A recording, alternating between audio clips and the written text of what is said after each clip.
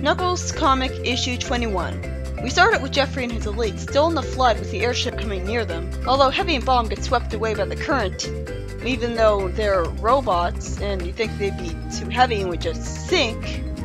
With Elias being oddly positive that we'll never abandon them in their time of need, I'm guessing he's assuming the airship has the Brotherhood in it. It's weird.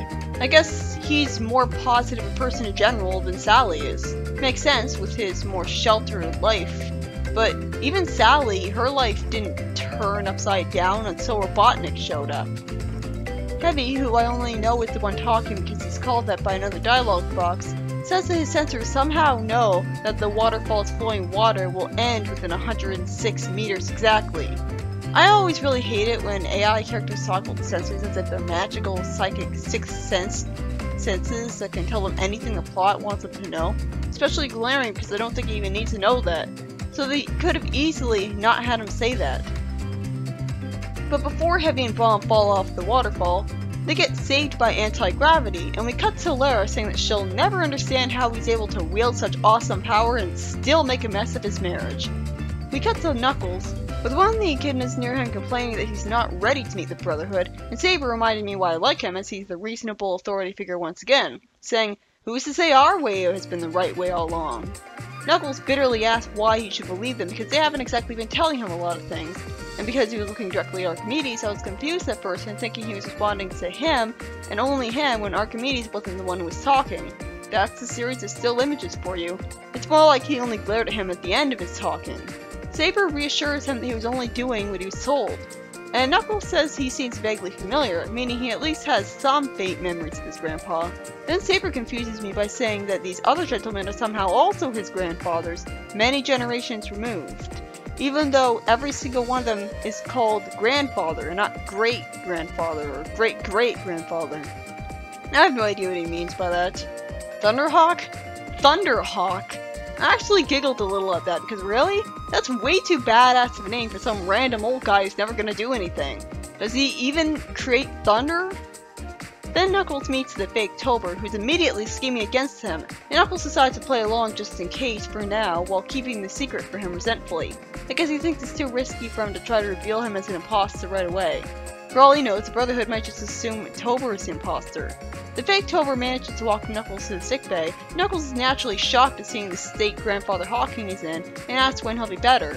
Meanwhile, Geoffrey asks who Locke is because of the magic act he did to save them all, and Elias answers for him. Locke says that he'll take it from here because Geoffrey's probably overflowing with questions.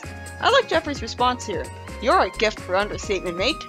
I had the biggest smile on my face reading that line. Locke knows what Geoffrey is there about, wisely sets the autopilot on the airship to get them to Haven more safely rather than trying to focus on conversation at the same time that he's driving, and Lara naturally whispers annoyance, How come you weren't this communicative when we were married? Again, I couldn't help but giggle a little from that. That line makes me smile. Locke explains that the Queen's craft crashed on the island after being fired upon by overlanders, and while Geoffrey's father didn't make it, the kid has found a baby who did, probably because he was secured in a magical pod that magically kept it from being harmed. With Sabre saying that they'd better get him to the med labs for examination. It's explained that the overlanders had landing. As the designated leader of that mission, Sabre met with the officer in charge of the Overlanders who demanded the right to inspect that craft. Yeah, kill everyone aboard. I can't believe they actually think they're in the right. Sabre says, and we ask you to respect our neutrality. Uh, don't you mean ask you to respect our neutrality? There's so many fantastic lines in these stories, and it's a shame that grammar fails like this had to show up. Sabre lies that everyone on the ship was killed and since then the Brotherhood stopped interfering with the affairs of the Overlanders. Spectre discovered that Queen Alicia was still alive, but injured, though I can't see how because they had no guts. Not even a bruise. It lucky that she was alive when no one else survived, and she should have logically been hurt as much as everyone else was. Both her and her baby were sent to Haven while Thunderhawk and Sabre would clean up the crash site, making sure that not a trace of it would be found by the Overlanders. As for Elias and Queen Alicia, so this whole thing, the war with the Overlanders that separated the Queen from Sally, happened back when Elise was a baby? I was confused by the chronology of this. Did the Overlanders keep warring with King Acorn until all the way up to Robotnik's schemes? It turns out the Echidnas had to keep the Queen in a stasis tube for a while until they would be ready to transfer her to the hyperchamber for the long term. We already saw a medical stasis tube magically healing Sally of her injuries in issue 50, so this isn't too hard to believe. The Queen was barely registering any brain activity at the time, so a plan was made to preserve her until a method could be found to regenerate her neural network. Wow. And when one of the echidnas asks if they should return the boy to his father, another echidna replies, Normally I'd be the first to agree, but there's a lot more at stake here.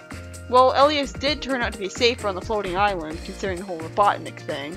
There's also the fact that if the Overlanders were to find out that the Echidnas withheld the facts from them, the Echidnas would end up being dragged into a war with them they have no interest in whatsoever. I can understand that. It turns out that by this point, Elias was old enough to talk and make a little city out of Legos, despite somehow not knowing what a city was. It is kind of sweet the idea that he was basically being raised by Sabre. He would turn out to be quite a prodigy. He is Sally's brother, so I'm not surprised. When he was 10, he was allowed to venture forth throughout the island. And that's probably when the Colonel found him. Geoffrey then asks how do you account for the Colonel? Locke replies, that was an oversight on the part of one of the Brotherhood's own. The fake Tobor hadn't taken into account the possibility of someone being thrown to safety when the craft was breaking up, and we see before this him merely being interested in the chaos that his being discovered would create. Luckily, the colonel was found by King Acorn's rescue team first. Then the airship flies into a wall of fire, horribly burning everyone on it. Nah, just kidding. It turns out they actually bothered to explain this. The wall of fire of the Forbidden Zone was just a holographic projection to scare people away from going into it. That explains why Knuckles' father could walk into it without dying a horrible, horrible death. Naturally, Knuckles and Fake Tobor get into a fight, which involves the Fake Tobor shooting a laser out of his eyes that not only Knuckles magically dodges despite not knowing it was coming, but also turns out that it's only one use, much to the embarrassment of the imposter. What kind of a lame laser is that? One use. It does make sense that Moritori called Knuckles self-centered because from his perspective, Knuckles is going to ruin his life by revealing who he really is eventually. So of course he'd see him as selfish. But that's still hypocritical coming from him. Meanwhile, Locke and Lara hear an emergency beacon, and Locke tells Elias to take the commander and his squad to Sabre and give Knuckles the message, Tell Knuckles I'm sorry. Then Knuckles is told to jump after the imposter by Archimedes, and after he asks him why he couldn't have just teleported him to safety, he's told, I wanted to see if you still had some team spirit. I smiled at seeing that, that was pretty funny. That's how you do lightheartedness in Sonic. Totally unintrusive and natural jokes. You don't always have to laugh, as long as it makes you smile. After we see the Brotherhood seeing the fake Tobor on camera, one of them wonders if there's more to him than meets the eye. Elise and the others finally meet up with Knuckles. Knuckles gets talked to by Sabre and asks suspiciously, How do I know you guys aren't pals with this phony? Sabre seems to believe him, so credit to him. And it's explained that Thunderhawk is supposed to be in sickbay checking Hawking. You mean checking on Hawking? Is this a unique Echidna way of talking? After discovers a threat on the wall that promises that they'll all make friends with death, we see the constable and I think Win standing near some flooding waters on the rock, and Locke deadpans in the airship. It would appear your would-be rescuers need rescuing, Lara. I like that line. Must you always sound so condescending, Locke? and I outright giggled at that one. For some reason, Locke admits it was uncalled for, and asks what she wanted to discuss with him, willing to start the conversation. Lara says about Knuckles, he needs a father, Locke, and I already have my hands full just being a mother. With Knuckles always being whisked away for hero duties all the time, you can barely even be that, so I don't know why she thinks she has her hands full. While Constable and some others are rescued by the airship, Locke says, What do you want me to do, Lara? Explain the birds and the bees? I already have. Did you, Locke? and I almost chuckled at that. Sadly, the conversation ends again because Locke feels another fight coming on. No wonder these two broke up. They can't even manage a decent conversation. These are literally the most dysfunctional couple I've ever met. Locke meets up with Win in a pretty friendly meeting, with Win shaking his hand and smiling nervously, rather than the two being really jealous and resentful of each other. We then get to day 3, and behind a door near Grandfather Hawking lies all the answers. Despite all their technology, even the echidnas couldn't ignite the spark of life in the Queen, so they used the only option left to them. I thought he'd talk about cloning her and somehow transplanting her brain because he was talking as if he was going to reveal some new information, but fortunately it turns out he was reminding us what we already know, that they were preserving her until a cure could be found for injuries. She's still not recovered? But Sally recovered in a stasis tube just fine and she was barely alive too! The Queen will still be taken back to Robotropolis, but I'm sure the king will be disappointed. Not to mention it's about to be attacked by Snively. So somehow I don't think taking her back now will be a safe idea, considering Haven was the safest place on the planet for quite a while. Fortunately, Elias agrees to come back home too, saying, I have a father I'd like to get to know. This story was written by Ken Penders, and finally finishes off all the plot points that are introduced in the arc. Well, except for Locke and Lara, who still haven't totally finished the conversation. But I'm glad they're finally having it after all that build-up. No surprise by how funny it was. Like most good natural comedy, it wasn't always laugh out loud funny, but it didn't have to be. Their lines were amusing in a relatable way, a deadpan snarker kind of way. It's subtle. There were a lot of great lines in the story, moments that made me smile. Knuckles is still suspicious of the Brotherhood because it kept so much from them over the years, although I'd say it's to the point of paranoia. It's weird that he's portrayed as gullible as one of his main character traits in the games, when if anything he's always been the exact opposite at least in the comic. The fake Tobor gets in trouble and escapes threatening everyone's lives, as I wonder why he waited this long to be evil if he never stopped being that way. It does kind of make sense that he'd snap, though. I mean, a Dark Legionnaire can't exactly stay in the Brotherhood and help out just because he wants to, so he's gonna get kicked out, eventually.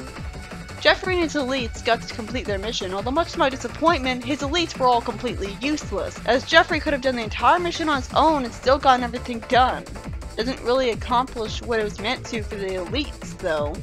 And I'm glad we finally got to meet Elias.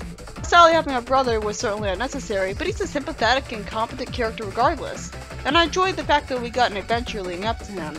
Same goes for the Queen, who arbitrarily still hasn't recovered from her injuries yet. It doesn't help that I don't know what those were, making it even harder to swallow. It feels like we're just getting her recovery pushed back arbitrarily out of spite. Next up, we're going to Sonic Super Special Issue 8. Wait, what? We're skipping a bunch of issues? We're going from 5 to 8 just like that? No way, I want to see what, the rest are about. Maybe they're reprints too, who knows. So next up, issue 7.